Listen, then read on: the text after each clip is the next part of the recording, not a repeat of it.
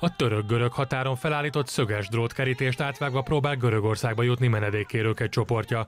Aztán, amint megjelenik, a görög határrendészet autója kövekkel megdobálják.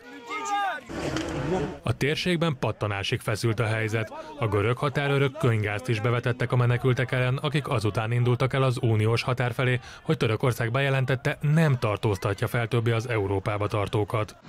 Törökországban jelenleg csak nem 4 millió menekült él. Az Európai Unió fizet Törökországnak azért, hogy ezeket az embereket ott tartsa. Erről még a menekült válság közepén 2016-ban állapodtak meg. Az adatok azt mutatják, az egyesség jól működött. 2015-ben és 2016-ban is több mint egy millió menedékkérő érkezett az Európai Unióba. A megállapodás aláírása óta viszont a számuk folyamatosan csökkent. Tavaly már kevesebben érkeztek, mint a menekült válság előtti évben. Szakértők szerint Törökország a területén élő menekültekkel az Európai Uniót és a nato zsarolja, hogy álljanak mellé a szíriai konfliktusban az oroszok által támogatott felkelők elleni harcban. Ne dedik aylar önce? Reggelig 18 ezer ember kelt át a határon, de a mai nap folyamán még többen, 25-30 ezeren lesznek, és megyünk tovább, nem fogjuk lezárni a határainkat, fenyegetett Erdoğan. Erről telefonon tájékoztatta tegnap az uniós vezetőket, köztük Orbán Viktor a török elnök.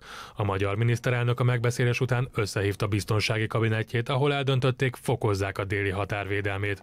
Az MSZP szerint ennél többre lenne szükség. Orbán Viktor, ha már ilyen nagyon híres és jó szövetségesei vannak, mint például Erdogán elnök, akkor jó lenne, hogyha ezt most már lassan a magyar nép érdekében is tudnák kamatoztatni ezt a nagy barátságot, és azt várjuk el tőle, hogy ne csak tájékoztatást kérjen, a török elnöktől, hanem érje el, hogy ezek az emberek ne el se induljanak. Szijjártó Péter külügyminiszter azt mondta, nem támogatják Erdoğan mostani lépését magyar nemzeti érdek szempontjából tehát mi minden olyan lépést és döntést támogatunk, amely lehetővé teszi a Törökország területén érő szírek hazatérését. Minden egyes olyan döntést és lépést támogatunk, amely elkerülhetővé teszi újabb több százezer vagy millió illegális migráns megjelenését a Nyugat-Balkánon, ezáltal Magyarország déli határán. A török elnök egyébként várhatóan még a március 26-án kezdődő uniós csúcs előtt találkozik a Visegrádi országok vezetőjével Budapesten.